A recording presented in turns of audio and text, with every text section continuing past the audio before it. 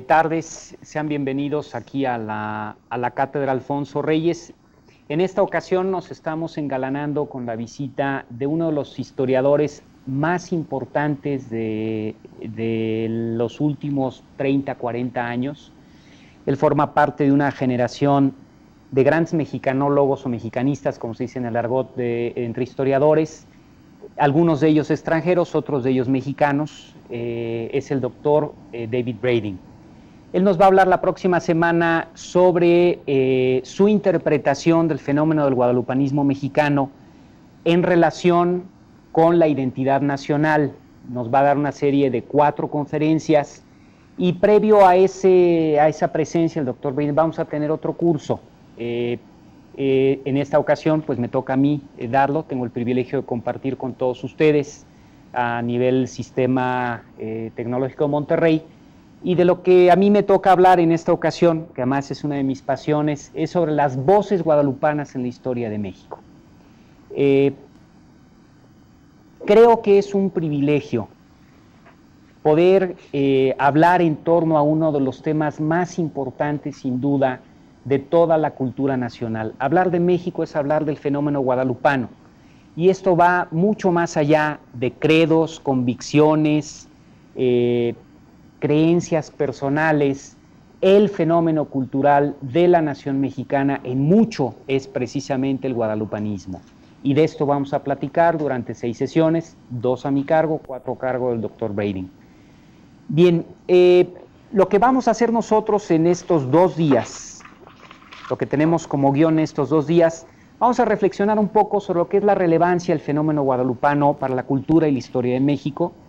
En un segundo momento vamos a reproducir la tradición y sus manifestaciones en la historia, insistiendo en un punto muy importante. El fenómeno guadalupano no obedece una sola voz de un grupo social en lo particular. Esa es la tesis, es la hipótesis que vamos a trabajar durante estas dos sesiones.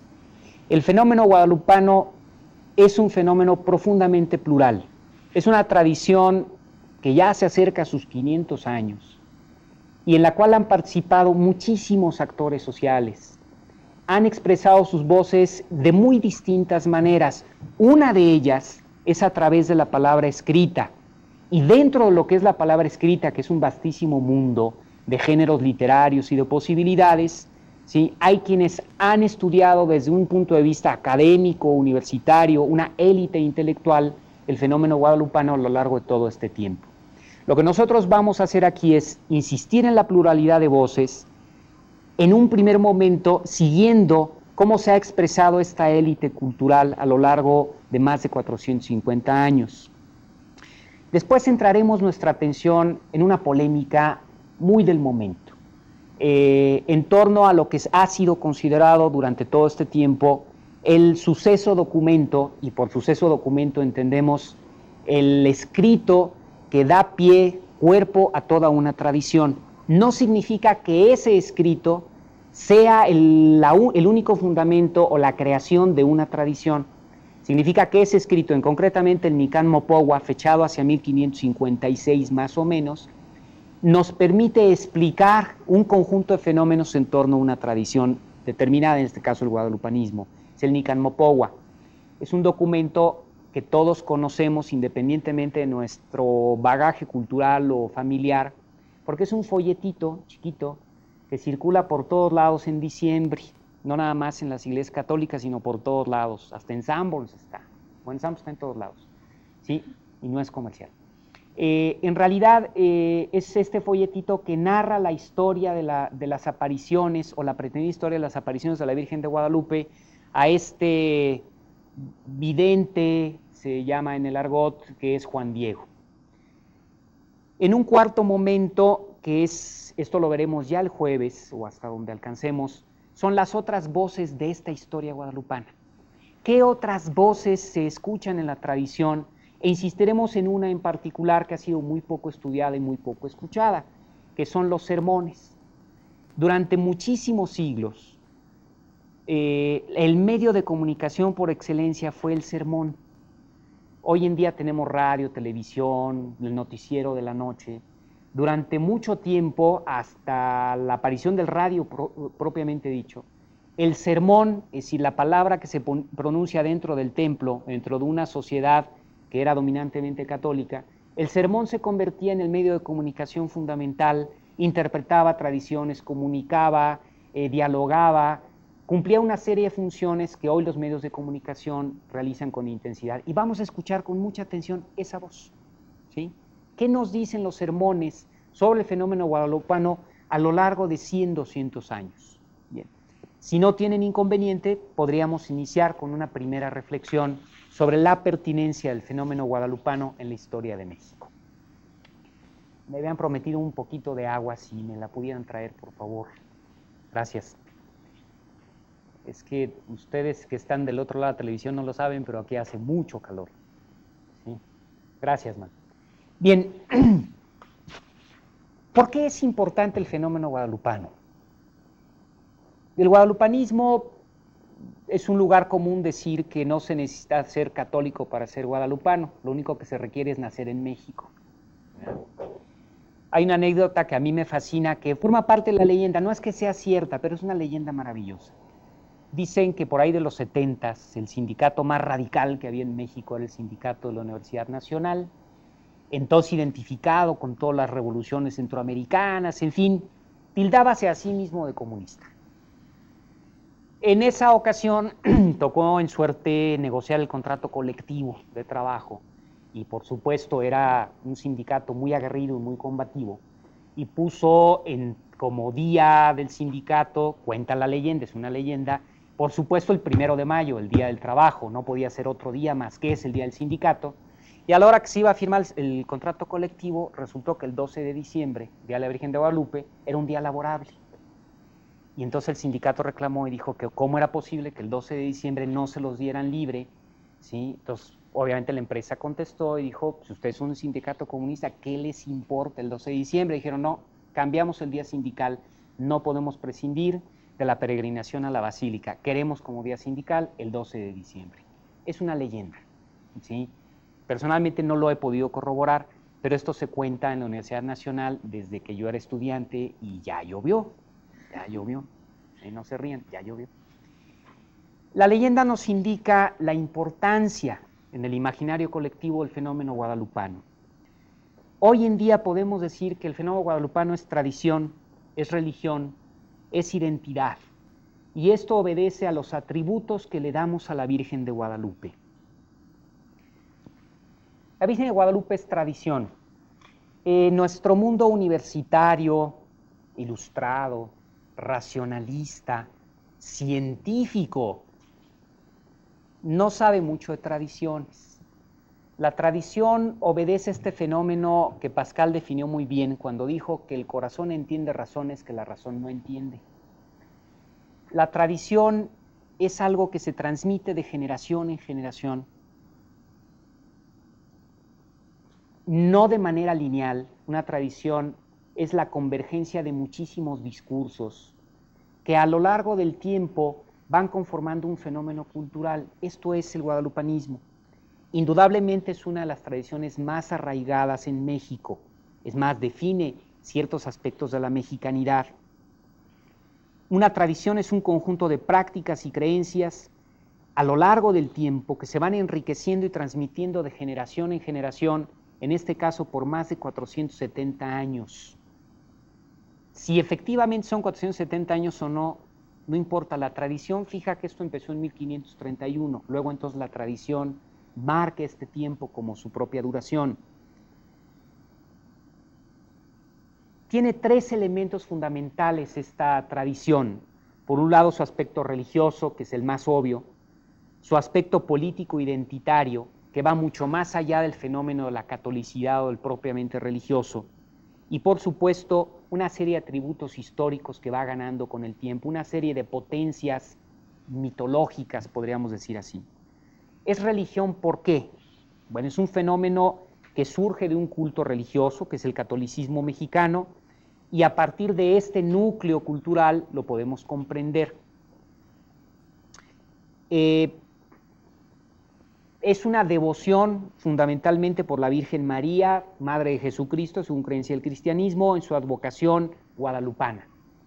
La Virgen que tiene distintas advocaciones, es ella misma, pero recibe eh, culto en distintas advocaciones. Bueno, la que está en el Tepeyac es la Virgen de Guadalupe. Ahora bien, es un culto originalmente trazado como indígena, cuyos orígenes se remontan a los primeros años de la Nueva España, según la tradición hacia 1531, hay quien feche el inicio de la, tradición hacia 1548, 1550, pero difícilmente la fechan más hacia acá, con excepciones como veremos. Se expande a los demás sectores de la Nueva España hasta convertirse de un culto local en un culto regional, en un culto de una provincia, la monarquía como era la Nueva España, hasta transformarse en un culto nacional en el siglo XIX hasta rebasar las fronteras de los límites propiamente de una nación y se expande por América Latina y sobre todo por el suroeste de Estados Unidos y hacia el norte del continente. Si es que no América Latina ya empieza en el suroeste de Estados Unidos. Entonces ya podemos nosotros extender toda América Latina por esos lados. Esa identidad no solamente es un problema religioso, es un problema identitario y político. Si me permiten, voy a tomar tantita agua.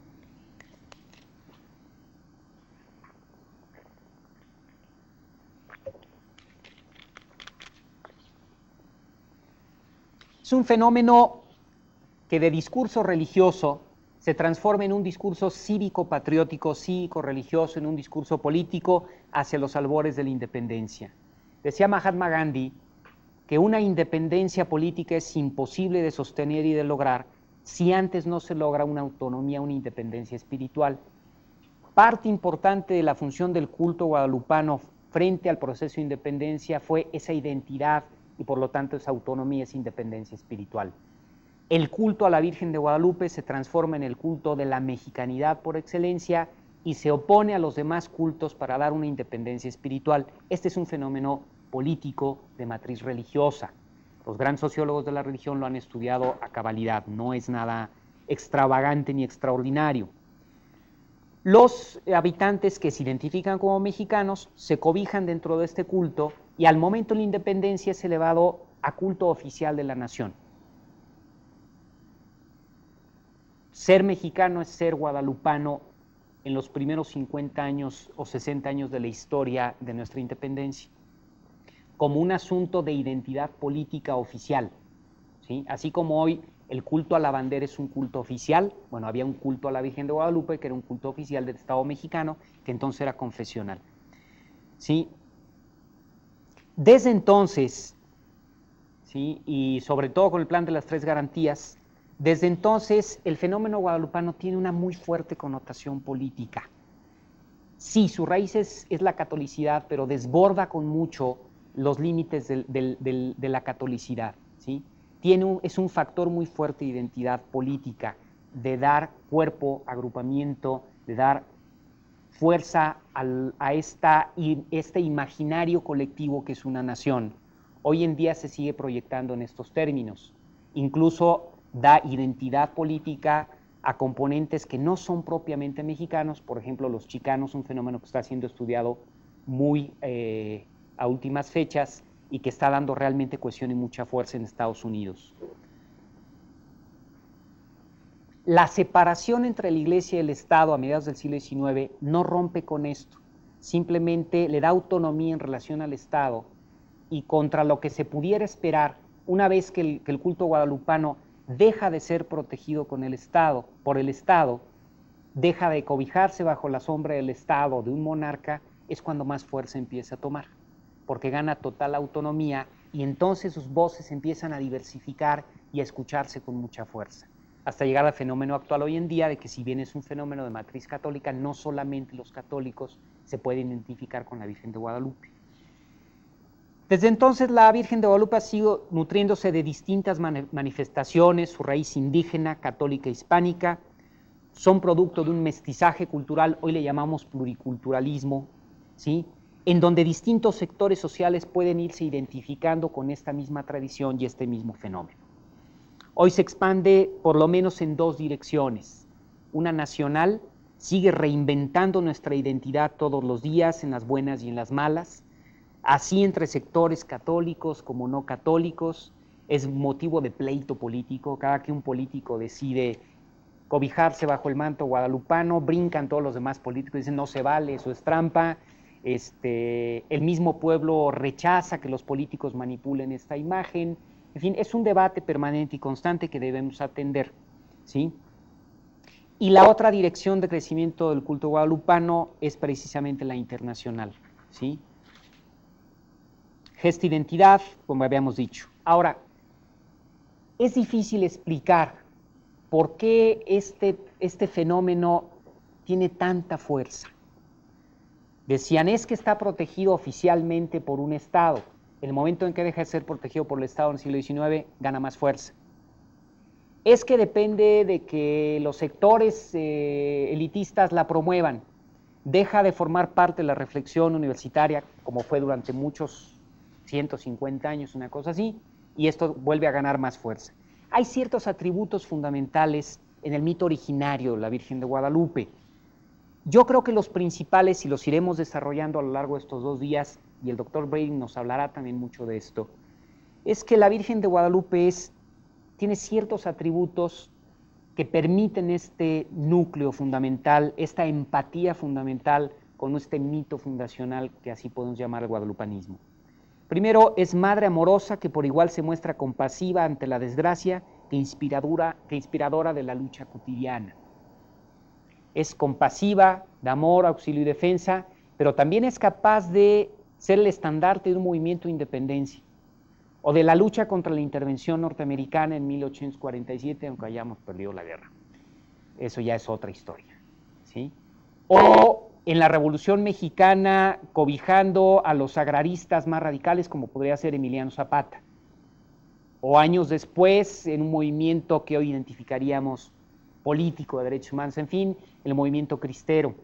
O más recientemente los movimientos políticos de oposición o campesinos, siempre aparece una Virgen de Guadalupe por ahí. Porque al mismo tiempo que es una madre protectora, puede inspirar y favorecer la lucha. El segundo atributo que yo encuentro es que es madre de la patria, en ocasiones mestiza, en ocasiones pluricultural.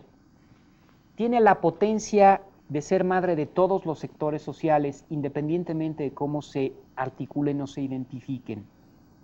Esto desde su origen mismo. Es de matriz indígena, pero da cobijo a todos los sectores propios de la Nueva España. Es la Virgen de la Patria mexicana, pero al mismo tiempo da cobijo a todos los sectores por igual. Este es un segundo atributo que me parece fundamental. Permite la convivencia de la diversidad de manifestaciones en el vértice de la maternidad guadalupana. Si vamos a la Basílica de Guadalupe en fechas recientes, lo mismo encontramos las tradicionales manifestaciones del catolicismo popular mexicano que a las élites políticas, que grupos no católicos, ¿sí? Eh, que también van y se cobijan bajo el manto de la Virgen de Guadalupe. Y ahí están todos en la basílica, muy contentos y muy tranquilos, porque están cobijados bajo el mismo manto de esta maternidad. Y un cuarto atributo, un tercer cobijo, un tercer atributo es madre que da cobijo identidad a diversos grupos, ya lo dijimos. Y un cuarto elemento es que se ha puesto a sí misma, o la tradición la ha puesto como señora de la historia. La Virgen de Guadalupe yo creo que es uno de sus más potentes atributos. Es gestora de la tradición más importante de México que ha rebasado sus fronteras y que se ha transformado en el mito fundacional de una patria. El evento de la canonización de Juan Diego, independientemente de las creencias personales, es la sacralización de un mito fundacional. Una vez que esto se ha realizado, se acaba la polémica. El mito fundacional de una patria, de una identidad más que de una patria, ¿sí? se sacraliza a través de un acto religioso y lo que era el mito fundacional ahora es la señora de la historia la que gesta esta historia que quién sabe hasta dónde llegará, que ya, por supuesto, ya rebasó con mucho las fronteras del Estado Nacional Mexicano. Hace 120 años, un liberal, don Ignacio Manuel Altamirano, anticlerical todo él, como buen liberal de su tiempo, que peleó la guerra de reforma con fuerza para lograr la separación de la iglesia y del Estado, escribió lo siguiente. El día en que no se adore a la Virgen del Tepeyac en esta tierra, es seguro que habrá desaparecido no solo la nacionalidad mexicana, sino hasta el recuerdo de los moradores del México actual. Es un fenómeno de matriz religiosa, pero que ha rebasado con mucho el estricto fenómeno religioso. Yo creo que estos elementos, tradición, religión, identidad y los atributos de maternidad y ser señora de la historia le dan una fuerza y una actualidad impresionante. Bueno, lo que viene a continuación es reflexionar sobre estos 450 años. Sobre estos 470 años de historia, de tradición.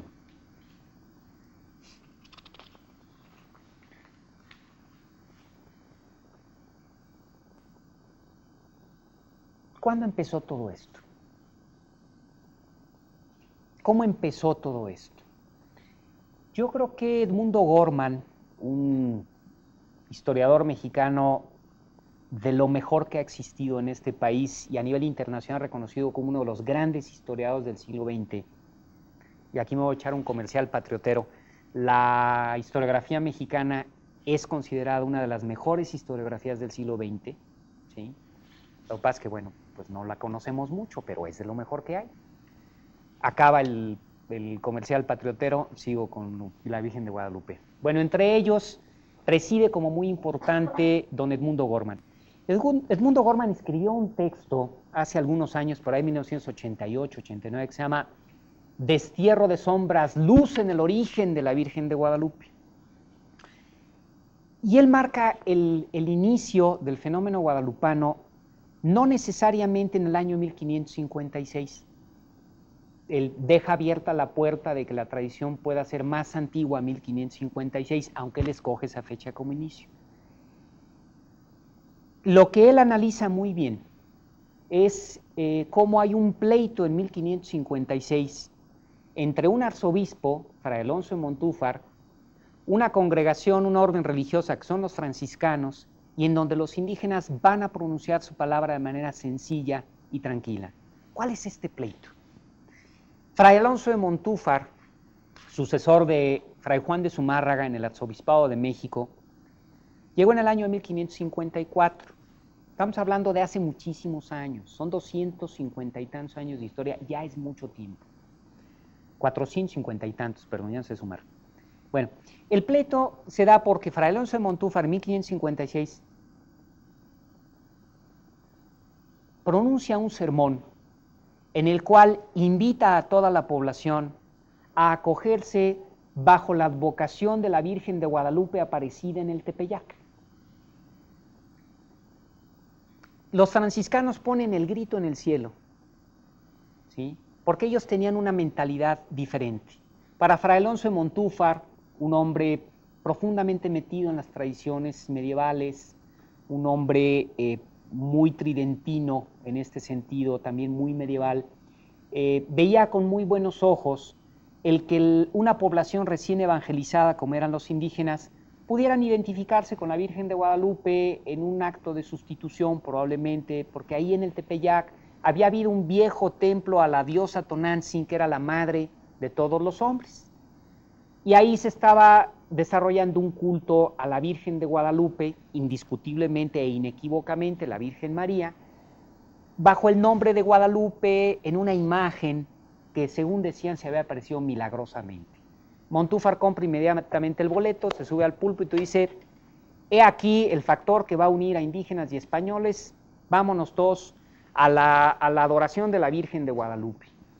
Los franciscanos ponen el grito en el cielo, los franciscanos de ese entonces, ya 1556, su provincial Fray Francisco de Bustamante, eh, eran hombres más eh, del Renacimiento, ellos tenían una idea mucho más purista de la fe, pudiéramos decirlo de esa manera, y ellos pensaban que no, que la fe tenía que vivirse desde lo profundo, que no podía haber este tipo de sustituciones.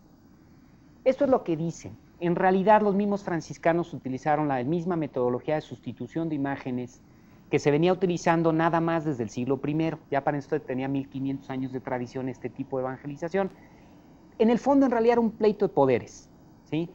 Pero unos dicen que no al culto a la Virgen de Guadalupe, otros dicen que sí, se arma un pleito, se levantan averiguaciones y el arzobispo se sale con la suya, incluso manda a construir lo que se conoce como la segunda ermita, ¿sí? Y es una iglesia mucho más bien formada, de esa ya hay vestigios arqueológicos ahí en la Villa de Guadalupe, perfecto. Y entonces los indígenas, enucleados en el Colegio Santa Cruz de Tlatelolco, y aquí no sabemos cómo, y nunca lo vamos a saber. Parece ser que recogen una serie de tradiciones que estaban en boca, una serie de leyendas o verdades, no sabemos, que estaban en boca de la población, particularmente indígena, y escriben en Nahua una relación ¿sí? de las apariciones de la Virgen de Guadalupe. Esto es lo que conocemos como el Nican Mopowa. ¿sí? Según cuenta, y todo parece indicar, que se trató del indio Antonio Valeriano, que es un colegial muy prestigioso del Colegio Santa Cruz de Tlatelolco.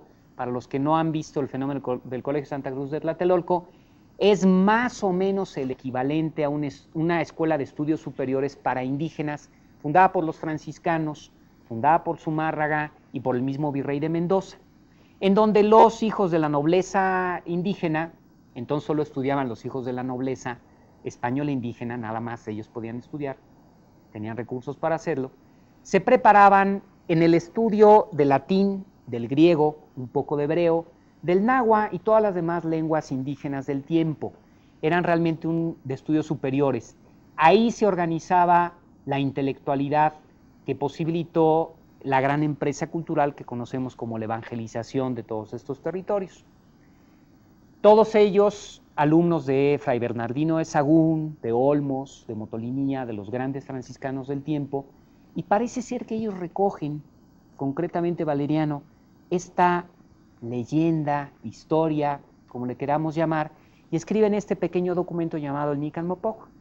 A partir de este momento, lo que irá conformando la tradición de Guadalupe va a tener tres voces dominantes. Dos muy fuertes y una tranquila, silenciosa, así como esta narración de los indígenas, que acabará por tener una fuerza avasalladora y que es hoy la dominante. La primera de estas voces es el antiaparicionismo. La Virgen de Guadalupe no es un milagro, no se apareció, es un engaño. La segunda voz es la de los aparicionistas, por supuesto. La Virgen de Guadalupe sí es obra de un milagro, sí se apareció, su origen es milagroso. Y una tercera voz que nosotros vamos a llamar aquí genéricamente una tradición popular, que se va a ir mezclando, estas tres voces se van a ir mezclando a lo largo de la historia lo que el pueblo, la tradición va marcando a través de una serie de prácticas, de tradiciones orales, de escritos, de sermones, de arte, de pintura, ¿sí? Toda una serie de manifestaciones devocionales en torno a la Virgen de Guadalupe, de preferencias por ella, que va a caminar por el cieno de la historia, ¿sí? silenciosa, avasalladora y constante. Y dos voces que van a manejar normalmente las élites intelectuales, unos que niegan el milagro, otros que lo favorecen. Hoy en día ya no existe esto de aparicionismo contra aparición, antiaparicionismo, se transformó en algo mucho más académico que veremos en su momento. Pero son tres voces que van a ir dominando, de las cuales se van a desprender muchas otras más voces. ¿sí? Hasta ahorita vamos bien. Entonces, el, el origen está en este gran evento de 1556. En esta tercera voz, decíamos, en esta tradición se van a insertar artes plásticas, en estas tres voces, artes escénicas, literatura, devociones, procesiones, cultos particulares, ermitas, iglesias mayores, iglesias menores, advocaciones, patronatos locales, nacionales, continentales, universales, manifestaciones políticas, independencia, revoluciones, rebeliones, coronaciones, flujos migratorios poblacionales, identidades colectivas en México, en Estados Unidos, en América Latina, en la catolicidad romana, devociones católicas, devociones más allá de lo católico, procesos de construcción de identidades colectivas, y le paro porque se me ve el aire. Y podríamos seguir con una lista mucho más grande. a lo largo de 470 años. Cada manifestación, y esto es lo más importante que hay que entender, está sustentada por grupos sociales y cada grupo social por personas. Y estas personas tienen voz y estas voces conforman la tradición. No es una voz, son muchas voces. El fenómeno de una tradición como la guadalupana es polifónico. Esto es, David Brading, que es quien nos va a venir a dar estas pláticas, ha estudiado una de estas múltiples voces a profundidad. David Brading ha estudiado la élite letrada, intelectual, universitaria, criolla y herederos de los criollos a lo largo de 300 años, siglo XVII, XVIII y XIX. Este es el núcleo del estudio de Brading. Él nos va a venir a hablar de una de estas muchas voces, lo que él identifica como el guadalupanismo criollo y después el guadalupanismo nacional. Es lo que ha dicho sobre esta, este fenómeno la élite letrada, intelectual, universitaria, criolla y sus herederos a lo largo del siglo XIX y parte del siglo XX. Para dar profundidad y comprensión a esto, vamos a expulgar nosotros las demás voces vamos a atender a estas otras voces.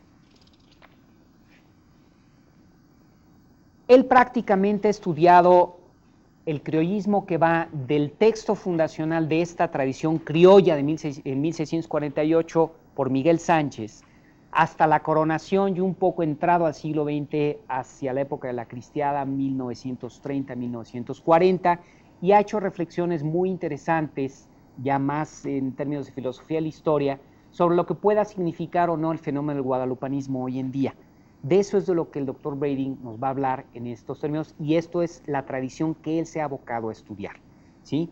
No perdamos de vista esto y en la medida en que tengamos una visión más amplia del fenómeno, nosotros vamos a poderlo comprender a mayor profundidad y podremos sacar más provecho de lo que el doctor eh, Brading va a venir a platicar con nosotros en cuatro sesiones. ¿sí? Eh, lo importante que debemos entender es esta polifonía. Y quiero insistir en esto y vamos a seguir insistiendo todo este tiempo en este punto. Bien, vamos a ver ahorita, en un primer momento, cuáles son estas tradiciones letradas y cómo van dialogando estas tradiciones letradas con un conjunto de voces. La tradición letrada no solamente es criolla, no solamente es universitaria, la tradición letrada también es indígena. Ha sido estudiado este fenómeno muy recientemente por un historiador mexicano que reside en Estados Unidos, David Tavares, que ha estado estudiando las tradiciones letradas indígenas y resulta que existen por todos lados. Parte de este fenómeno es también el guadalupanismo. Y bueno, hay tradiciones no letradas, que, como ya mencionamos. Bueno, ¿qué pasó en el siglo XVI? ¿Qué podemos decir del siglo XVI? Ya vimos este gran debate en 1556. Este debate no hubiera sido posible si previo al debate entre Montúfar y los franciscanos no hubiera habido una práctica devocional, puesto que había una práctica devocional en el Tepeyac. Puede llegar un arzobispo y decir, esta la quiero para mí, y los franciscanos decir, no, esa no la tomes para ti porque, pues quién sabe, de repente vas a agarrar mucho poder lo cual fue cierto a final de cuentas. O va a decir, son mis preferencias religiosas, yo soy muy mariano y quiero esta vocación para mí. Sabemos, por la misma fenomenología de la tradición guadalupana, que en, el segundo tercio del siglo XVI, 1530-1560, existe una tradición. Existe un culto en el Cerro del Tepeyac a una virgen llamada de Guadalupe. Si esto es un fenómeno sincrético en donde están mezclados la vocación a la Virgen de Guadalupe con Tonantzin, madre de los dioses y de los hombres, ¿es probable? Si fue un milagro, eso depende de la fe de cada quien. Lo que, lo que sí podemos afirmar es que preexiste en 1556 algo, que además es de las preferencias de indígenas y de los pobladores de la Ciudad de México. A lo largo del siglo XVI, por la promoción que le va a dar el arzobispo Montúfar y sus sucesores, es decir, el clero secular, va a empezar a crecer por todo el Valle de México. Se va manifestando en peregrinaciones, actos devocionales, y se van a construir tres templos entre 1531 y 1622.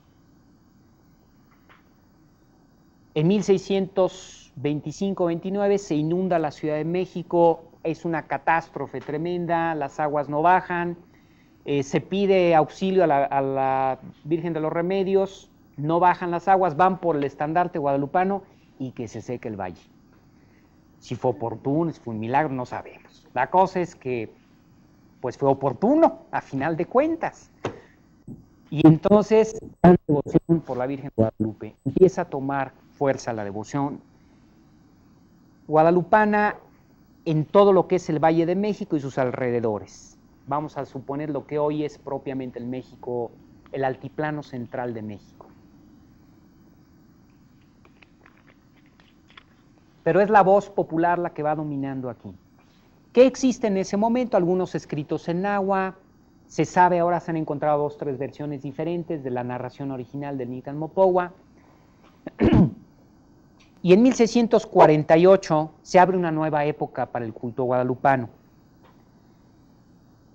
De 1648 a 1749, el culto guadalupano va a conocer una promoción por la élite letrada de la Nueva España, que entonces es el grupo que hoy identificamos como criollos, es decir, los descendientes de los pobladores y conquistadores de la Nueva España, que para 1648 la Universidad de México ya casi tiene 100 años de existir, ya es una gran universidad, ya hay élites letradas formadas en esta universidad de clérigos y no clérigos, ya hay un grupo que puede ejercer un liderazgo intelectual sobre la sociedad y este grupo primero va a tomar uno de los cultos más importantes del tiempo, que es el de la Inmaculada Concepción.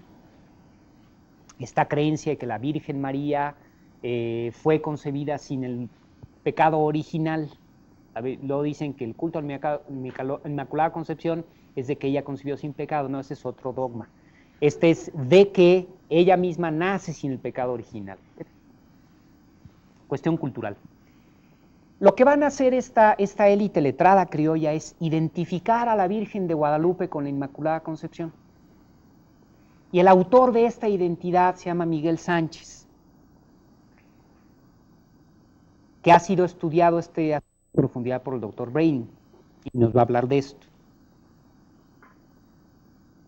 Miguel Sánchez lo que hace es identificar a la Virgen de Guadalupe con la Inmaculada Concepción, que es el culto más importante de la monarquía, porque el rey así lo decidió en 1618.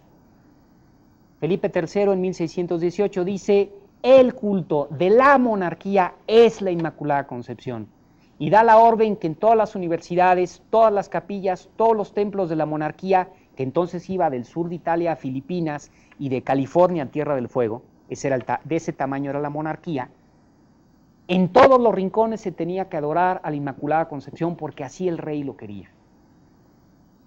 Era un mundo católico, si el rey lo quería, pues cómo no mi rey, se ponen a adorar a la, a la Inmaculada Concepción. Y los criollos ¿sí? buscan un culto que les diera identidad desde adentro. Ellos se sienten orgullosos habitantes de la monarquía hispánica, pero también se saben de la Nueva España. Hay un florecimiento económico en la Nueva España, hay un esplendor, el inicio de un esplendor cultural, y entonces lo que hace Miguel Sánchez dice, esa Inmaculada Concepción es la que profetizó en el Apocalipsis San Juan. Esto es muy importante. Y esa es la Virgen de Guadalupe. Y se hace todo un estudio maravilloso sobre la imagen misma y le incorpora una, serie de elementos teológicos de la patrística griega. No profundizo en eso porque es uno de los grandes aportes del doctor Brading. Es precisamente su propuesta que tenemos que empezar a estudiar esta, esta imagología a partir de los conceptos teológicos de, la, de la, toda la reflexión iconográfica de los teólogos griegos. ¿sí? muy importantes del siglo IV, V y VI. Todo el debate por los íconos. Lo importante aquí es que de un culto local, lo van a transformar en un culto de un virreinato. Y se mezclan dos tradiciones. Miguel Sánchez en 1648 se vale de las tradiciones indígenas, concretamente el Nican Mopogua, para hacer toda su reflexión mariológica en torno a la Virgen de Guadalupe. Y un año después, en 1649, Luis Lazo de la Vega, cuate de Miguel Sánchez, por cierto, ¿sí? publica un texto en náhuatl llamado Huitlamahuizoltica, que, significa la que son las relaciones en agua, no digo así que significa, son las relaciones nahuas de las apariciones y milagros de la Virgen de Guadalupe. Todo parece indicar que fueron escritos por Valeriano y un documento posterior por un otro colegial de Santa Cruz de Tlatelolco, que es don Fernando de Alves Tilsochit. Ese cuate los junta, le agrega un poco de su ronco pecho, los publica y dice son míos. 1649. La tradición nahua converge con, con este imaginario criollo y la necesidad de un culto que le dé identidad y lo empiezan a promover. No son los únicos que lo van a hacer. Tras de ellos, combinando estas dos reflexiones, va a venir don Carlos de Sigüenza y Góngora. En 1662 escribe un poema maravilloso que se llama Primavera Indiana. Además, don Carlos Sigüenza y Góngora hereda todos los papeles de Valeriano, de Alvis Tilsochitl, del nieto de Alvis Tilsochitl, los toma él, los hereda, se pone a hacer colecciones de documentos indígenas y empieza a crear todo un, imaginario colectivo. Él también es el creador en mucho de esta leyenda de que Quetzalcoatl había sido un primer misionero católico que había venido a la Nueva España, este, bueno, entonces no a la Nueva España, que había venido a la Nahua y había predicado, y entonces este, después los indígenas habían caído en la apostasía, digo, un alucine, pero un alucine maravilloso. Entonces originalmente este pueblo había sido cristiano, en fin. Carlos de Góngora es el que plantea por primera vez que la Virgen de Guadalupe no solamente es esta Virgen apocalíptica, sino también es la que preside el orden de la Nueva España, de esta primavera mexicana. Luis Becerra Tanco recupera en su texto Felicidad de México la misma tradición indígena y le agrega un elemento más. Se levantan una serie de informaciones indígenas en 1666 con la intención de tener testimonio de 1531. Yo creo que si alguien en 1666 viviera todo el 1531 estaría un poco viejito y seguramente con Alzheimer. ¿verdad? Lo que logra esta averiguación de 1666 no es este testimonio de los que hayan presenciado o no la generación del milagro, sino dar testimonio de una tradición sostenida a lo largo de más de 150 años para esa fecha. Son unas informaciones bellísimas, son viejitos que están ahí este, declarando que ellos oyeron que su papá y su abuelito les habían platicado y a su vez su papá les decía que su abuelito y su bisabuelo les había platicado, y así se remontaban hasta la época de 1550, 1530. No prueba un milagro, lo que prueba es una tradición, y este punto es muy importante, ese es Luis, Luis eh, Becerritanco, y Francisco de Florencia escribe Estrella del Norte de México. Bueno, estos pensadores del siglo XVII, ¿qué es lo que realmente dijeron? ¿Qué puntos tienen en común? Estábamos hablando de más de 100 años de producción.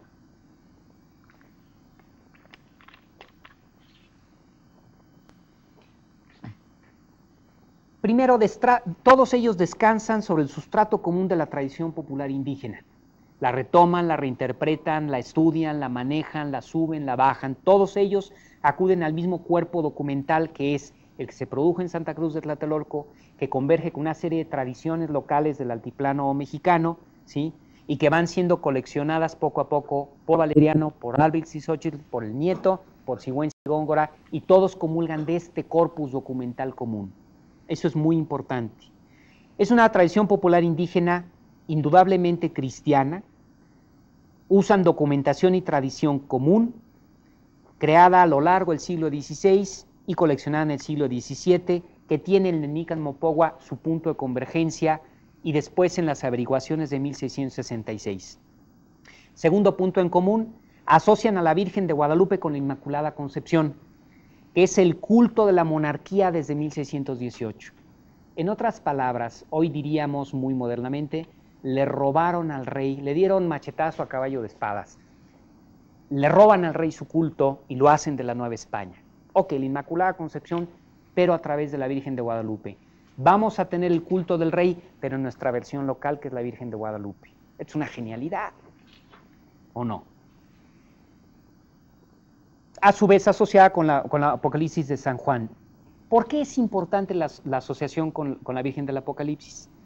Porque según la interpretación del Apocalipsis, esta, esta, esta, esta señora que se para sobre la serpiente y mata al dragón, es la fundadora de una nueva época para la humanidad. Si la Virgen de Guadalupe es esta Virgen, luego entonces esa nueva humanidad es la de la nueva España, la del nuevo mundo. La Virgen de Guadalupe es la nueva Eva, que está fundando un nuevo paraíso. No fumaban nada, realmente lo creían. Ella es la sin pecado original que elimina al dragón del demonio. Solo la Virgen de Guadalupe ha eliminado el pecado, la idolatría, la violencia, la peste, el hambre, las inundaciones y todo lo malo que existe en la sociedad y en la vida humana.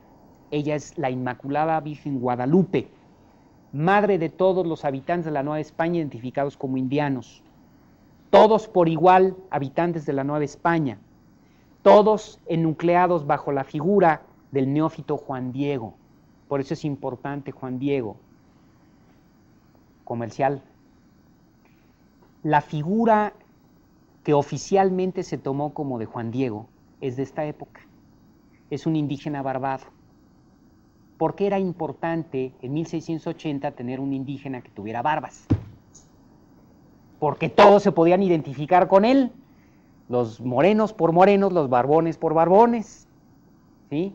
Y por eso la primera, la imagen más antigua que tenemos de Juan Diego es esa, que es de esta época precisamente. Hay que crear un culto común, a final de cuentas.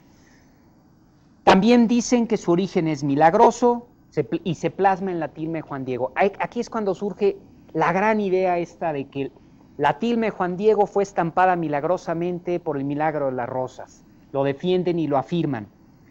Es fundadora del nuevo pueblo elegido, que es el de la Nueva España, en esta nueva cristiandad que es la del nuevo mundo.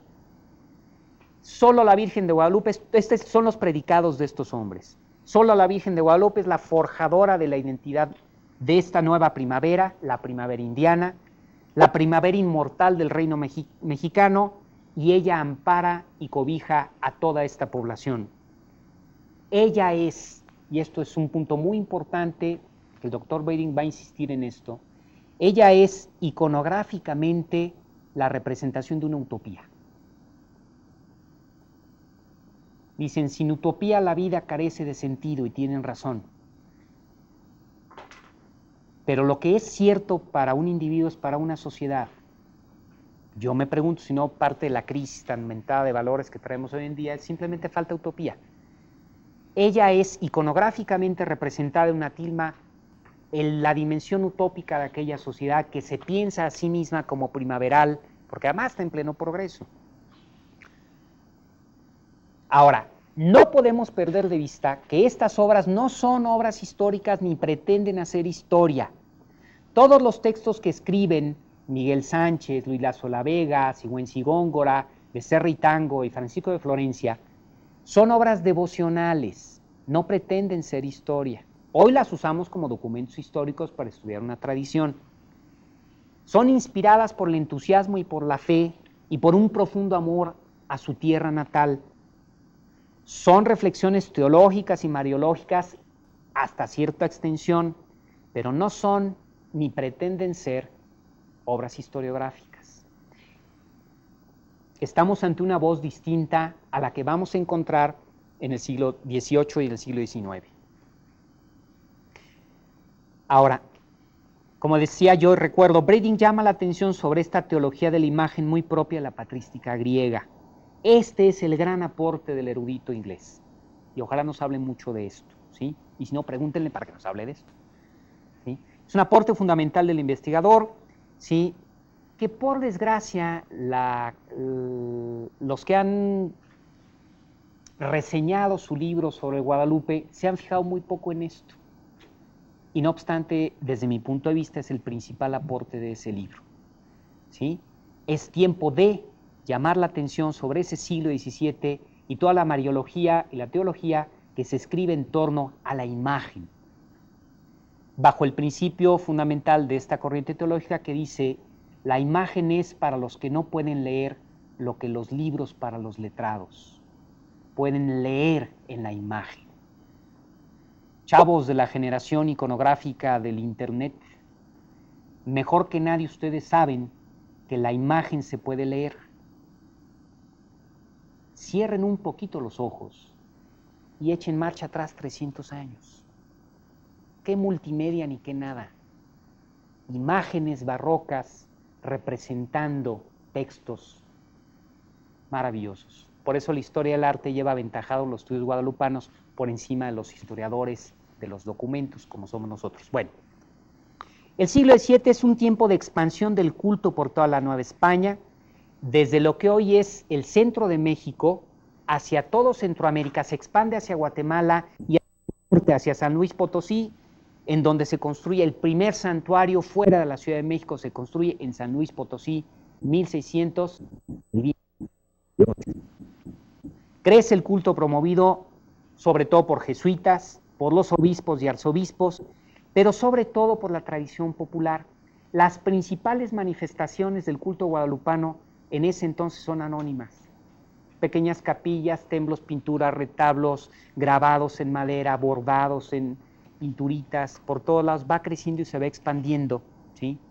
Como dice la canción, se va enredando, enredando como el musguito en la piedra, ¿sí?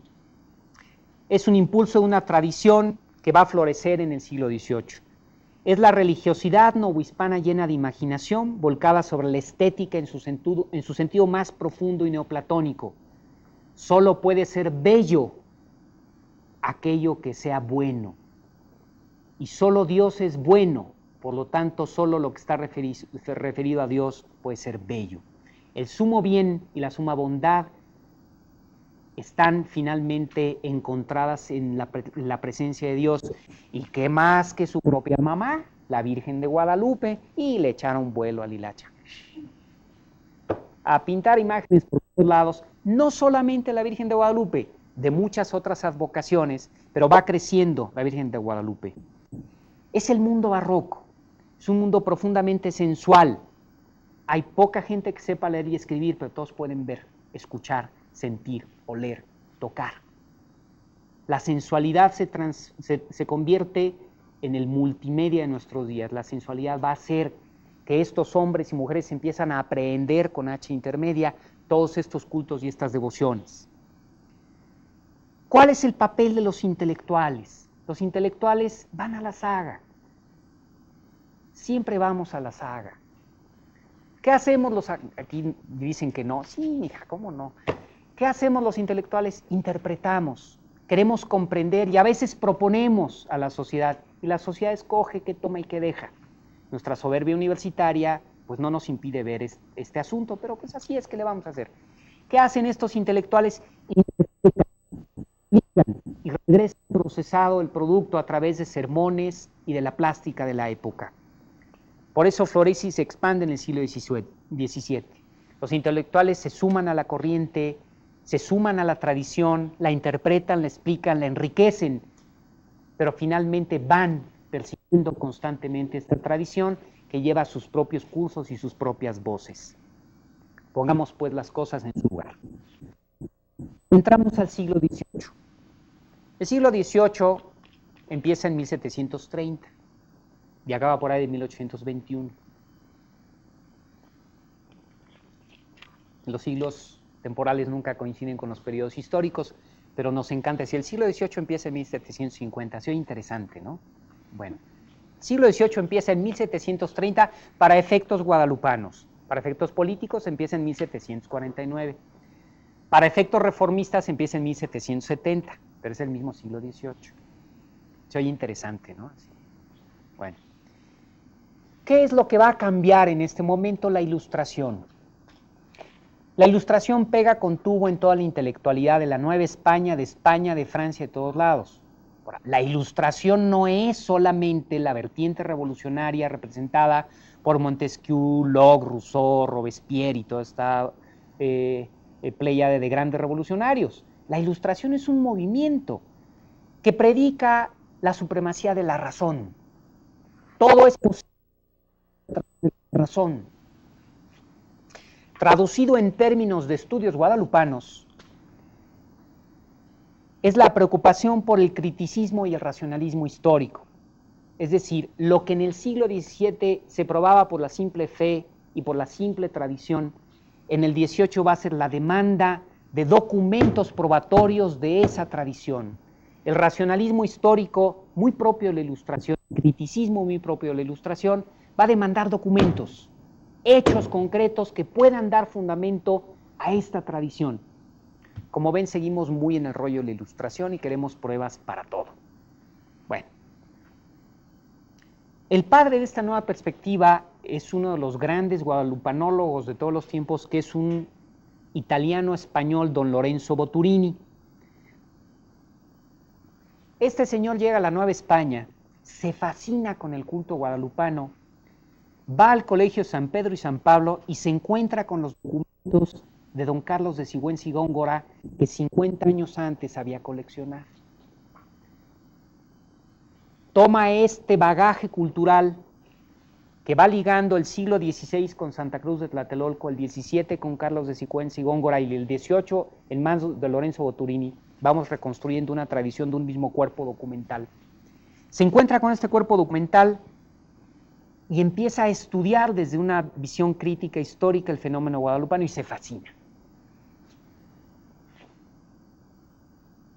Incluso escribe un catálogo de historias guadalupanas que él pensaba publicar promueve la coronación de la Virgen de Guadalupe, la Real Audiencia de México, dominada por los novohispanos, se fascina con la idea, le dan permiso y el virrey, que era Gachupín, se enoja y dice, Lorenzo Boturini no puede estar en la Nueva España, le encuentra ahí un documento medio falsificador, más bien no le encuentra, perdón, corrijo, no le encuentra un documento que debía tener, dice que está ilegalmente en la Nueva España y lo expulsa para allá, incauta toda la colección y la dispersa pero nos quedan catálogos y algunos documentos. Entre sus documentos hay muchos en lengua náhuatl y otros tantos en lengua castellana, que explícitamente dice, don Lorenzo vinculan la tradición al documento original de los indios de mediano del siglo XVI, que hoy identificamos como el Nican Mopogua. ¿Qué es lo que realmente encontró don Lorenzo Boturini? Distintas voces indígenas de una sola tradición, distintas manifestaciones. afirma la existencia de muchos documentos por el estilo, sí, y es el primer promotor de esta coronación. Después de él, siguiendo la misma lógica del criticismo en busca de fuentes, vienen don Cayetano de Cabrera y Quintero, que escribe Escudo de Armas de México, donde reconstruye la, la labor de la Virgen de Guadalupe para curar la peste que atacó a la Ciudad de México en los años 30, la aclamación de la Virgen de Guadalupe como patrona de la Nueva España por las principales 15 ciudades de la Nueva España, desde Guatemala hasta Durango.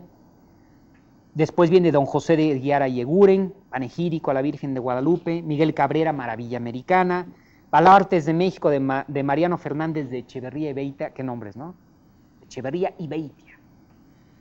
Francisco Javier Clavijero escribe La breve noticia sobre la Virgen de Guadalupe, José Ignacio Bartolache, Manifiesto Satisfactorio de la Tilma.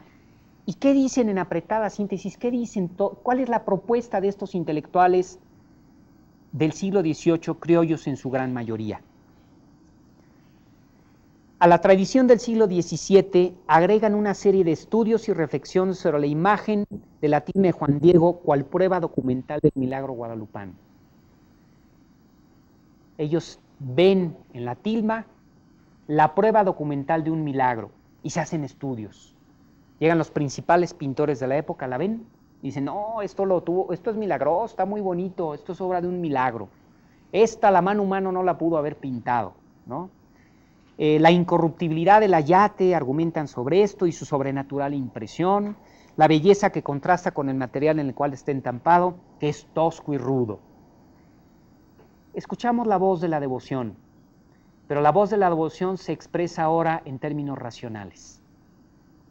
En esta tilma creen encontrar la, prueba fehaciente de que es una obra de Dios mismo. No necesitamos más documento si el documento mismo es el ayate. Dan fe de la tradición centenaria y le dan origen en el siglo XVI, otorgando a los indígenas la paternidad de la tradición, pues en ellos se obró la conversión y misericordia de Dios. Y esto es muy importante. Estos intelectuales ilustrados del siglo XVIII le otorgan la paternidad definitiva de la tradición a los indígenas, y entre los indígenas a Juan Diego. ¿sí? y de los indígenas van reconstruyendo su crecimiento hacia toda la población de la Nueva España. ¿Por qué es importante que sea el indígena? ¿Sí? Porque es la justificación misma de la presencia de España. Es el indígena no en sí mismo, es el indígena que se convierte a la fe católica, que es la máxima y más importante justificación de la presencia de España en América el indígena que se ha convertido puede ser con justicia, razón y derecho, sobre todo si es a través de la presencia misma de la Madre de Dios, pues parte del mito fundacional de una patria que después se extiende a todos los indianos. Guadalupe se mantiene, por Guadalupe se mantiene la, la fidelidad de México a la religión y al rey, las dos grandes lealtades de la Nueva España. Ella es el escudo protector de la Nueva España, incluso quien hace, superior a la Nueva España por sobre la vieja España. Allá ya tienen, decían entonces, no hombre, en Europa está lleno de herejes, gente que ya apostació de la verdadera fe, decían. En cambio aquí no ha habido ninguno, gracias a la Virgen de Guadalupe. ¿Sí? que la Inquisición queme unos cuantos, pero esos no son de aquí, son ingleses, son portugueses, o, se metieron con engaños, pero aquí, de aquí, de aquí, de aquí, ninguno. ¿Dónde? Guadalupe es la esencia misma, pues, de la Nueva España, su gloria, su privilegio, su honor. Paralelamente a este crecimiento, los intelectuales van interpretando y explicando ¿Qué se va haciendo? Es tal el crecimiento del culto que en el año 1747 las principales ciudades de la Nueva España, 15 ciudades de la Nueva España, juran por patrona de todo el virreinato a la Virgen de Guadalupe. Dato curioso, la patrona de Filipinas, que entonces era parte de la Nueva España, es la Virgen de Guadalupe. Ah, que no se la sabían. Y en 1749, con el permiso de, Roma y del rey, se construye lo que hoy conocemos como la Basílica de Guadalupe, es decir, la Colegiata de Guadalupe, un grupo de religiosos especialmente dedicados al culto a la Virgen de Guadalupe. Más de 200 años de devoción y culto habían generado una poderosa tradición. Surge en torno de Guadalupe un profundo sentido patriótico americano. No está en contra de la hispanidad y este, este punto es muy importante comprender el culto identitario de la Nueva España no necesariamente se opone y va en contra de la pertenencia a una monarquía. Es una identidad regional, pero es la simiente, el fruto que va a permitir en un momento determinado esa independencia espiritual que hablábamos al principio de la sesión del día de hoy. ¿Sí? La ahora, la misma inquietud crítica produce la corriente contraria. Los ilustrados españoles, que en aquel entonces empezaron a sentir superiores a los de la Nueva España,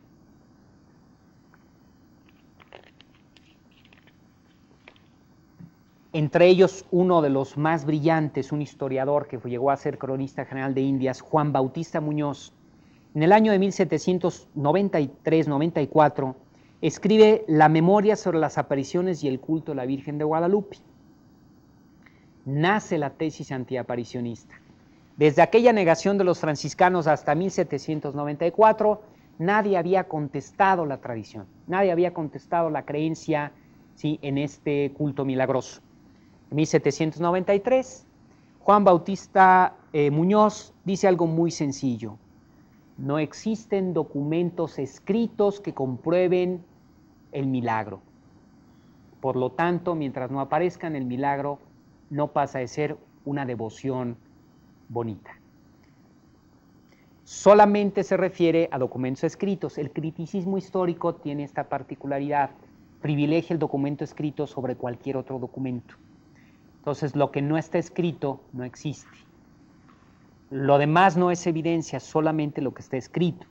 Ante la falta de evidencia manuscrita en el siglo XVI, dice Juan Bautista Muñoz, el milagro está en cuestión, es más, es una bonita leyenda, y las forjadores de la tradición están en el siglo XVII, 1648, con Miguel Sánchez, porque es la primera obra publicada. Entonces Juan Bautista Muñoz marca la única presente hoy en día, dice, la tradición surge en 1640, presidente Luis Lazo de la Vega.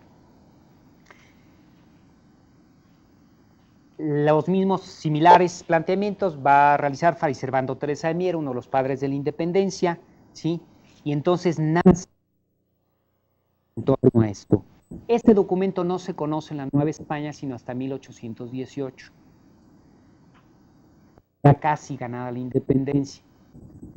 En el Inter conoce sucede un episodio que todos conocemos muchísimo, en donde se radicalizan los ánimos dentro de la Nueva España, surge una facción realmente independentista, va ganando, eh, va ganando fuerza. ¿Ya estamos otra vez? Ah, es que nos sacaron del aire tantito, pues, ¿qué pasó? Bueno, sí, salió el gancho y nos sacaron ahí. Bueno, este, decía que durante ese tiempo, no sé dónde se cortó, así que voy a repetir la idea, durante ese tiempo eh, se radicalizan los ánimos y la independencia se hace bajo la protección del manto guadalupano. Deja de ser el culto de la Nueva España para convertirse en el culto de una nueva nación que es la nación mexicana. Entramos a pleno siglo XIX. a nivel intelectual, de tradición intelectual, la voz intelectual va a debatir constantemente contra el, el antiaparicionismo. En 1818, en plena lucha por la independencia, pues no faltó un español que soltara por ahí el texto de Juan Bautista Muñoz y lo publicara en la Nueva España tratando de destruir el culto de Guadalupe. Lo que generó fue el enchilamiento colectivo de los habitantes de México y una serie de estudios más devocionales que otra cosa en favor del culto. Pero entonces nace un nuevo discurso, un discurso que ha sido estudiado puntualmente por un extraordinario historiador llamado Brian Connaughton, mexicano, él, todo el enterito mexicano, aunque el apellido sea este, de otros laredos. que es el discurso cívico-religioso, el discurso cívico-patriótico-religioso. Si el discurso, el discurso religioso se transforma en político, la defensa de la Virgen de Guadalupe se transforma en razón de Estado.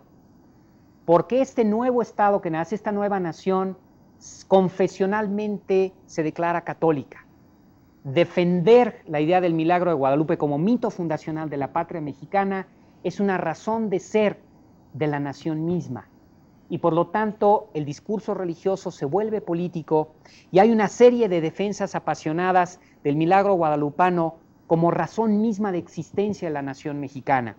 Miguel Guridi Alcocer, José María Tornel y Carlos María de Bustamante, entre otros, dan un fuerte sabor político a la reflexión. Es un discurso cívico-religioso.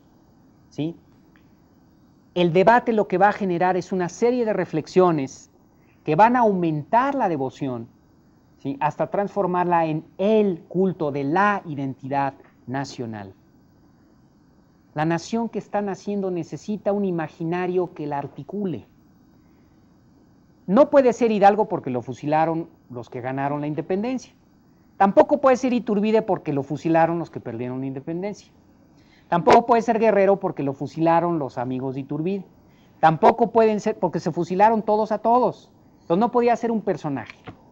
La bandera tampoco podía ser porque todavía ni siquiera nacía, que si la bandera las tres garantías, que si no la tres garantías, que si le ponemos al águila, que si la quitamos, que está de frente, que está de perfil. El himno nacional menos porque no existía. Ahora, podía ser un dictador como Santana, pero no, porque unos no lo querían. Todos están peleando por todo. Bueno, pues pónganse de acuerdo. Todos se ponen de acuerdo en un punto. Ok, no estamos peleando entre nosotros, pero nuestra mamá es Guadalupe. Ahora, a mí me quiere más, pues soy su hijo predilecto. El otro decía, no, a mí me quiere más porque yo soy mejor. Y entre esas voces, por ahí apareció uno y decía, ay, ni existió. Y entonces le llovían todos a palos al que decía, ni existió.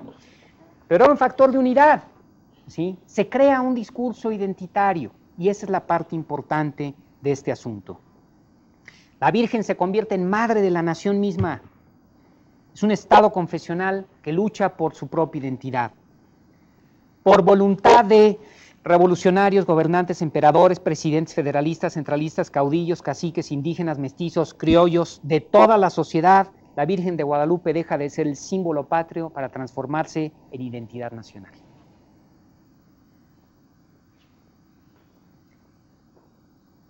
Viene la reforma liberal, se crea un Estado secular, se separa la iglesia del Estado. El Estado ya no puede buscar sus puntos de identidad en la religión, porque es un Estado que se va a definir como laico. El Estado liberal tiene que buscar otros mitos para crear una identidad, sobre todo los grandes intelectuales del porfiriato lo van a hacer. Acuden también a la reflexión histórica y van a echar mano de otro de los grandes mitos también de la Nueva España, al cual hicimos referencia cuando hablamos de Quetzalcoatl, este, no pueden ir a Quetzalcoatl, pero sí le dan la vuelta y dice muy sencillo. México es el antiguo imperio de Moctezuma. Otra vez los indígenas en el factor profundo de la identidad que cae bajo dominio español y recupera su independencia en 1810 o 1821 según las preferencias de cada quien.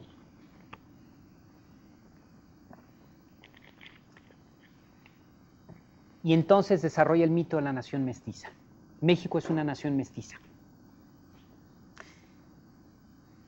El culto de Guadalupe ya no es oficial, pero no quiere decir que deje de existir se empieza a mover con más agilidad y más independencia, siempre lo que promueve el Estado tiende a anquilosarse porque obedece a un discurso unitario, ¿sí? gana autonomía, se empieza a desarrollar por todos lados, todo el mundo empieza a hablar de Guadalupe, Guadalupe a final de cuentas es la que nos defendió contra los Estados Unidos, la que nos defiende en la intervención francesa, la que permite la unidad de los mexicanos, la que hace una serie de milagros por nosotros, sin inquietando a la intelectualidad mexicana. Como veremos la próxima clase, incluso esa patria mestiza de la que hablan los liberales es identificada con la Virgen de Guadalupe, quien es la madre mestiza de una nación mestiza, y vuelve a tener una refuncionalización dentro de lo que es un mito fundacional. Con ánimo más sereno, ya pasadas las pasiones, triunfa el Partido Liberal, dentro del Partido Liberal triunfa Porfirio, dentro de Porfirio triunfa el porfiriato, ¿sí? La paz porfiriana, estudiosos de distintos signos reflexionan en torno al fenómeno guadalupano después de tantos años finalmente con serenidad. Y otra vez la polémica. El arzobispo de México, hay el proyecto de la coronación, le pide al principal historiador católico de la época, don Joaquín García Casbalceta, en muchos, en muchos sentidos el padre de la historiografía moderna de México. Don Joaquín García le dice, oye, escríbeme una cartita, escríbeme un estudio sobre los fundamentos históricos del milagro guadalupano. Acuérdense que estamos en el positivismo, heredero de la ilustración finalmente, en donde el documento es la única prueba de la realidad del pasado. Pues si Casbalceta, que es un gran estudioso de la época de la Nueva España, escribe una cartita en latín, secreta, se la pasa en un sobrecito cerrado al arzobispo, donde le dice, no hay evidencia, no hay pruebas documentales hasta la fecha.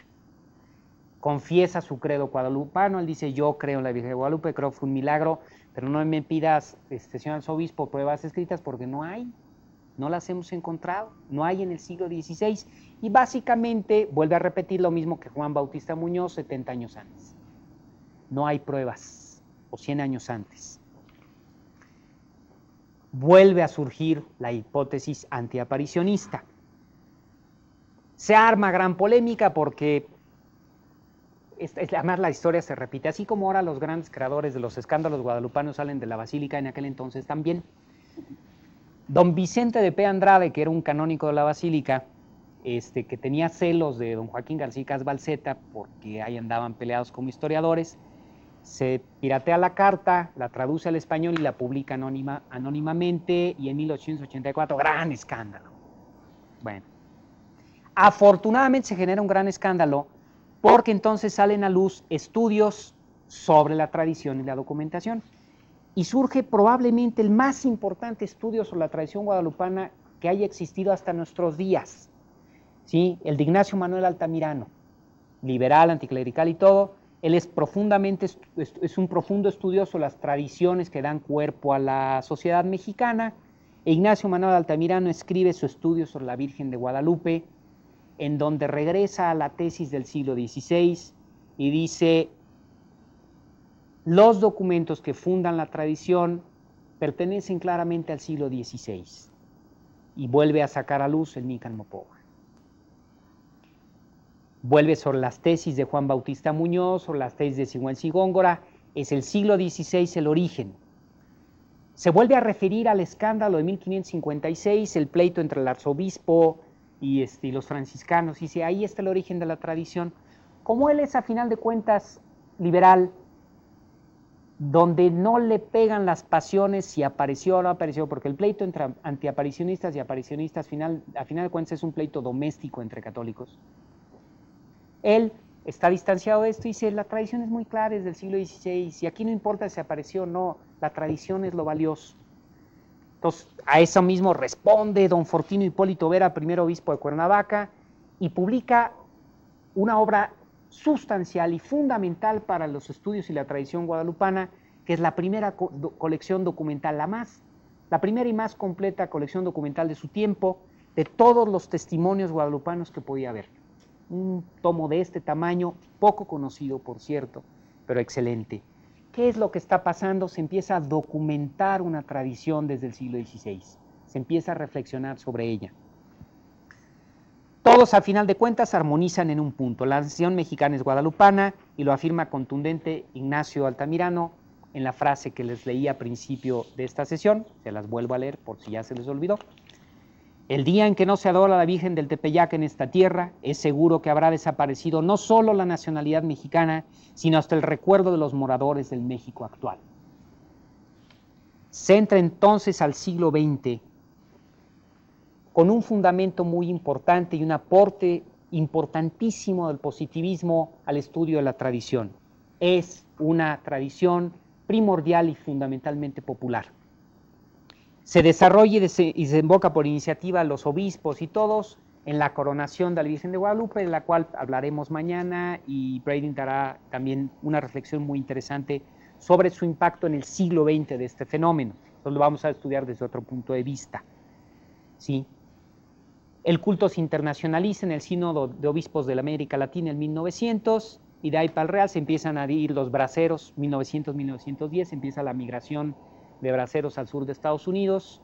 Eh, dicen que es la reconquista de los territorios, no me queda muy claro, pero de que los hicieron guadalupanos, ya son guadalupanos. Bueno, hay una convergencia de la polémica con las manifestaciones y desarrollo de la devoción a lo largo del siglo XX. Y el siglo XX va a dar un paso más, ¿sí? En, este, en esta tradición letrada de la, de la Virgen, del estudio sobre el guadalupanismo, que es por primera vez surge un cuerpo de académicos universitarios que van a estudiar el fenómeno del guadalupanismo, más allá de las pasiones religiosas y políticas. No es el cuerpo de intelectuales del siglo XVI indígenas que están dando su palabra y su voz recogiendo su propia versión de los hechos no son los actos devocionales del siglo XVII, XVIII y XIX. No es la polémica per se si fue o no un milagro muy propio del problema doméstico entre el catolicismo, sino es un cuerpo de académicos dedicados al estudio de un fenómeno particular. Y hay dos grandes cuerpos de académicos, unos académicos que se van a identificar a sí mismos como católicos que van a estar enucleados en un instituto muy importante para, este, para estos efectos, ¿sí? que es el Centro de Estudios Guadalupanos. Y en torno, a, en torno a este, y a veces de manera independiente, hay una serie de intelectuales reflexionando, analizando documentación de muy diversa índole en torno a la misma tradición. Y lanzan una tesis, este cuerpo de intelectuales, muy interesante que terminará por ser dominante en nuestros días porque la van a, va a encontrar eco en un cuerpo de, universitarios laicos. La evidencia de la tradición va más allá de la evidencia documental aportada por las élites letradas y que es muy visible en otras voces y manifestaciones como el arte y la poesía. Repito, esta tesis llevó a los altares de Juan Diego. La tradición se prueba no por la documentación solamente de la una élite letrada criolla.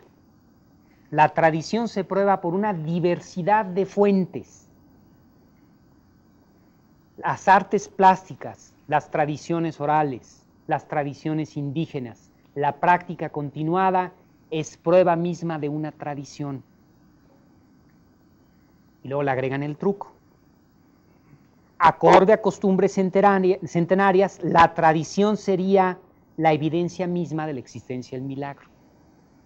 No prueban el milagro, prueban la tradición que prueba el milagro. ¿Sí me explico? Lo que nos importa de esta tesis ¿sí? son los dos elementos, pero lo importante para el estudio del guadalupanismo es el siguiente. La tradición se prueba no solamente por fuentes escritas por una élite letrada como hasta entonces se había querido probar. Esto es muy del siglo XX, esto es de 1950 para acá, la ciencia moderna ya. Ustedes que estudian qué? Semiología, historia del México colonial, historia del México independiente, este, medios de comunicación, medios de información, saben muy bien de esto. La pluralidad de voces es la que prueba una tradición y muy creencia del catolicismo, la tradición entonces probará el milagro. Son grandes pensadores, entre ellos Mariano Cuevas, Antonio Pompi Pompa, José, Jesús García Gutiérrez, Bravo Garte, Javier Escará, Lauro López Beltrán, Luis Guerrero, y el más importante desde mi punto de vista de ellos es el padre Ángel María Garibay.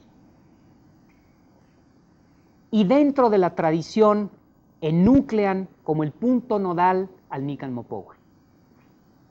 El Nican Mopogua se, lo van a transformar en el suceso documento, es decir, en el hecho que enuclea una serie de fenómenos en su tiempo para dar origen a una tradición.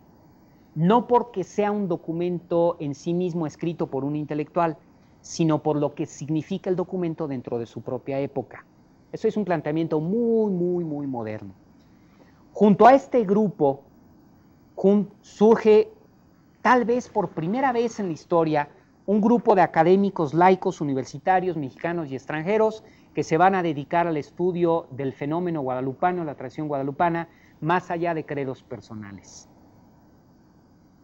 Por caminos no confesionales, quiero decir, no necesariamente identificados con un credo, llegarán a puntos convergentes en lo académico con todos los demás académicos católicos dan sustento cada vez más preciso a la tradición del culto guadalupano, remontando su origen inequívocamente a los primeros años de la conquista.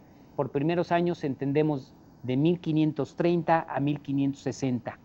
En algún momento en ese periodo surge el culto a la Virgen de Guadalupe. La fe pretende que este culto tiene un origen milagroso pero aquí se dan las condiciones ya para estudios mucho más académicos y profesionales de la tradición guadalupana. La fe es un asunto de creyentes. Tú puedes creer o no creer en el milagro, ese es un asunto que está en el terreno de la fe. El estudio de la tradición es muy importante. En este intento también redescubren el Nican Mopogua. Son dos, son dos caminos diferentes académicos católicos por un lado, los académicos universitarios laicos por otro, convergen en un punto, de decir, el texto fundacional de la tradición es el Nican Mopowa. Entre ellos hay grandísimos personajes como Francisco Lamas, Ernesto La Torre Villar, Jacques Lafay, William Taylor, Alicia Mayer, Edmundo Gorman, mis amigos que están viendo esta sesión, de mis alumnos de la maestría de la Universidad Virtual, tuvimos una entrevista con Alicia Mayer, bueno, está también en la lista de los guadalupanólogos. Edmundo Gorman y dos textos importantísimos, uno de Javier Nogués, que es el primer texto que sistemáticamente va a estudiar la diversidad de fuentes guadalupanas del siglo XVI. Lo mismo fuentes de origen indígena que fuentes de origen no indígena. Y bueno, Miguel León Portilla, que ha hecho la síntesis de los estudios en torno a Nican Mopogua, el mismo gran estudio es un Nahuatlato, que hace un estudio muy profundo sobre Nican Mopogua y sin equívocamente pertenece a la mediados del siglo XVI. Ahora, ¿Qué es lo importante en esto? Más allá de diferencias ideológicas y debates religiosos, todos convergen en un punto fundamental, este grupo de estudiosos. Hay un origen indígena en toda la tradición que se remonta a fechas alrededor de los años 50 del siglo XVI, 1550. O'Gorman fecha 1556, otros fechan 1548, otros de plano dicen, no, hombre, vamos a creer, mejor 1531. No importa, e, es decir, para efectos de una tradición, 20, 30 años no es importante. Puede ser un fenómeno sincrético en su origen, puede ser un milagro, ¿qué importa? Lo que realmente es importante es que hay una tradición de sustento indígena que es cimiento y simiente de este fenómeno. Segundo predicado de estos académicos. En el siglo XVII y XVIII, la intelectualidad literada de la Nueva España toma el liderazgo de la tradición, la hace propia y le difunde por todo el virreinato entre todos los sectores sociales. A últimas fechas, y por últimas fechas estoy hablando de los últimos dos, tres años, se empieza a hablar de que no solamente es esta élite letrada, sino que hay muchas otras manifestaciones, muchas otras voces de la tradición. Yo sostengo ese punto, me hago responsable de esto entre, una playa de muchas gentes que lo están diciendo. Después nos dicen, la guerra de independencia y posteriormente en la construcción del Estado Nacional, la Virgen es elevada a símbolo nacional por un Estado confesional y después apoyada y desarrollada por el pueblo mexicano que se identifica con la Virgen como símbolo, como estandarte de su libertad de identidad y de independencia.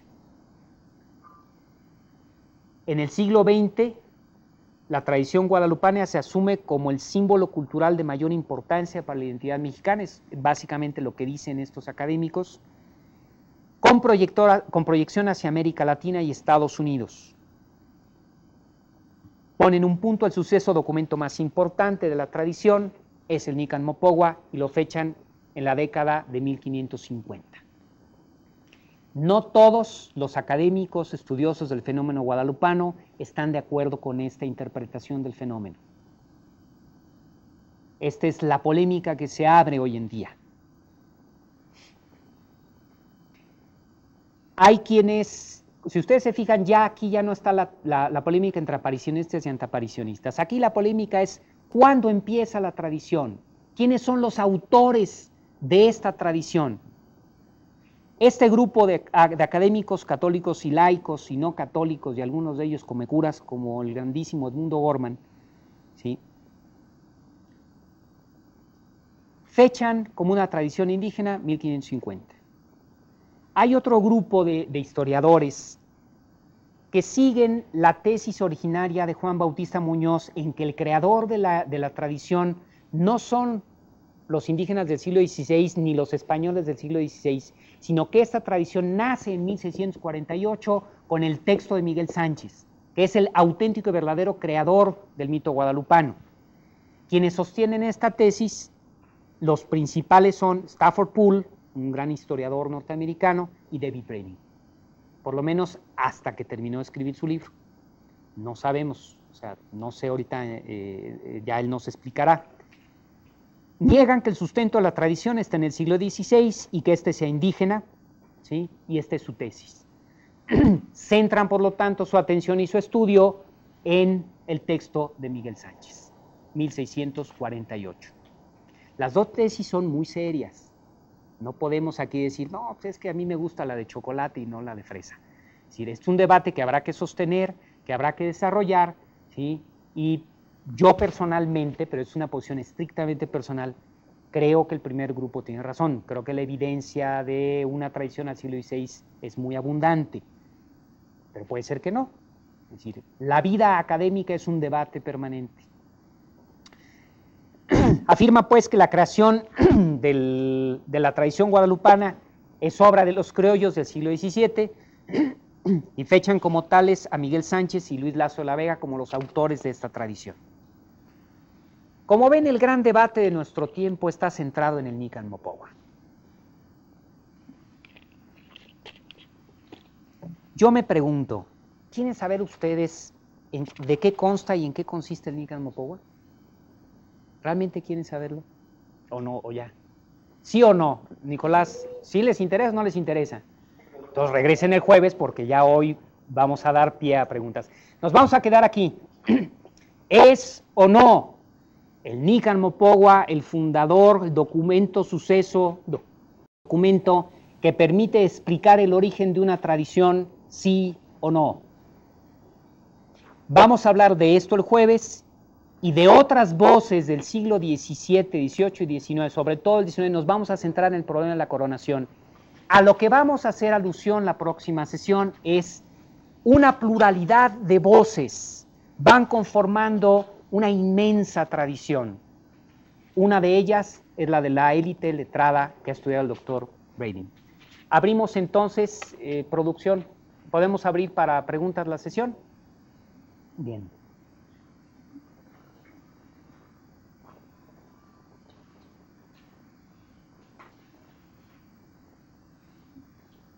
¿No va a haber preguntas? ¿Ya se acabó el tiempo? Aquí tenemos una pregunta. ¿Hay tiempo para una o no? Dice, dice que para una sí. Bueno, aquí alguien manda a saludar. Vamos a ver. No, pues manda a saludar Gerardo Villanueva. Muchas gracias, Gerardo. Dice, pregunta, ¿puede conservarse la pacificación del México posconquista y el catolicismo mexicano y latinoamericano sin la imagen de la Virgen de Guadalupe? Pero aún más, no necesariamente el guadalupano es católico, ¿cierto? Eh, pues es una interpretación. ¿Cuál fue la influencia del culto guadalupano en la pacificación del México? Yo creo personalmente que no mucha. Creo que es un impacto posterior. Sí, yo creo que es un problema posterior de la identidad. Y aquí hay otra que dice Tonantzin Guadalupe, un comentario. Dice, de, muy interesante el contenido hasta el momento, yo sigo teniendo una duda. ¿Qué podemos decir respecto al pasado prehispánico de la guadalupana? Concretamente con respecto al rito que ya existía en el Tepeyac entre los indígenas.